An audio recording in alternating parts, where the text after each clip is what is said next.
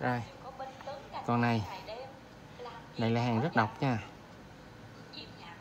Ha hàng rất độc đó là cao su nha.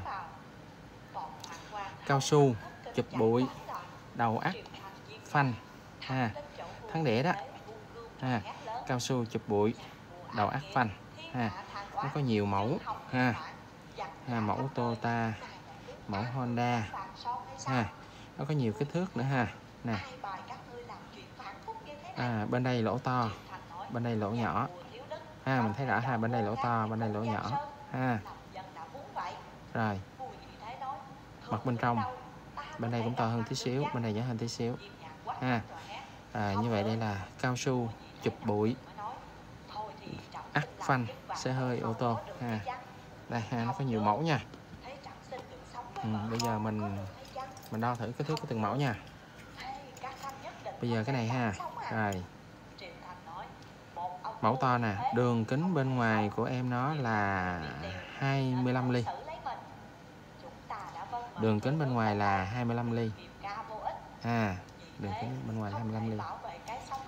Chiều cao của ác, cao su áp phanh nó là 22 ly. Chiều cao là 22 ha, chiều cao là 22 ừ. chiều cao là 22 à. còn đường kính nó là 25 à, đường kính 25 chiều cao 22 đây 25 nha 22 đường kính bên trong là như đây?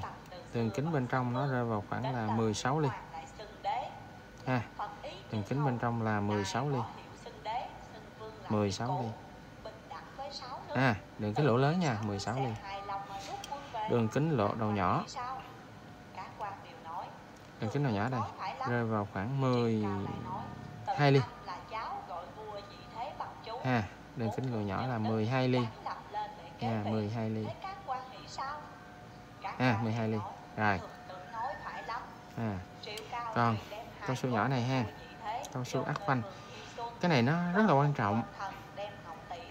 à, nếu mà cái cao su này nó còn tốt thì bụi đất, nước, bẩn, nó sẽ không vào bên trong cái ác phanh. Và và hệ thống phanh nó hoạt động rất là trơn tru. Khi mà cao su này mà nó bị hư, thì sình bùn đất, nước bẩn nó chưa vào trong. Thì trong một khoảng thời gian ngắn thôi, là cái thắng nó hư liền. Nó xét nè, nó sình đất nè, cái bôi trơn nó không còn, nó sẽ hư ngay, ha.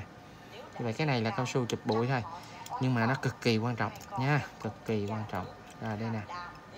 Vậy đây là đo chiều cao nha. Chiều cao đâu đó rơi vào khoảng 22 ly. chiều cao là 22 ly. Ha 22 ly. chiều rộng nó cũng là 24 ly. 24 ly là hai hai bạn là bằng nhau ha. Hai bạn là bằng nhau. À hai bạn là bằng nhau rồi 22 với 24 bây giờ. Đường kính này nhiêu? Đường kính này vẫn là 16 ly. Đường kính này là 16 ly, đường kính lỗ lớn là 16 ly, ha. Vẫn bằng vậy luôn, ha. 16 ly. Nhưng đường kính lỗ nhỏ này chắc chỉ có 8 ly quá à. 10 ly. Ha, một bên là 12 ly, một bên là 10 ly. Ha là đường kính này 10 ly nè. Đường kính bên kia 12 ly. Nha. Rồi ha. như vậy đây đây là cao su, chụp bụi, áp phanh, xe hơi ha Honda, Toyota ha tùy theo mẫu ha và chúng ta thấy đây. Ha. khi mà chúng ta bảo dưỡng hệ thống phanh, nếu mà nó hư thì chúng ta sẽ cần phải thay thế ha đây là những cục cao su, bảo dưỡng áp phanh. Ha cao su bảo dưỡng áp phanh ha xe hơi ô tô. Chúng ta có lỗ 10 ly. Lỗ 12 ly. Ha còn kích thước bên trong thì là 16 ly. Ha 16 ly và dài 22 ly. Ừ, quan trọng là lỗ nhỏ này nè. Lỗ nhỏ này một lỗ là 10 ly một lỗ là 12 ly. Ha cao su chụp bụi áp phanh xe hơi ô tô nha. Ừ. cao su chụp bụi áp phanh xe hơi ô tô. Ha.